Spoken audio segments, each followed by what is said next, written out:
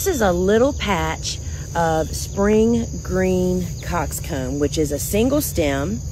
And we plant it closer together because you only get one cut per plant, but it is so beautiful. We plant it when we were in high production every single week, but now we do it throughout the season to have access. And so it doesn't matter where you make the cut because you're not going to get any regrowth, right?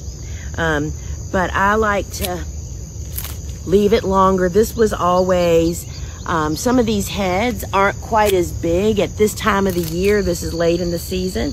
They do not get quite as big as they do earlier in the season. But our commercial customers were our main um, consumers of these because, you know, the green is just such a great color.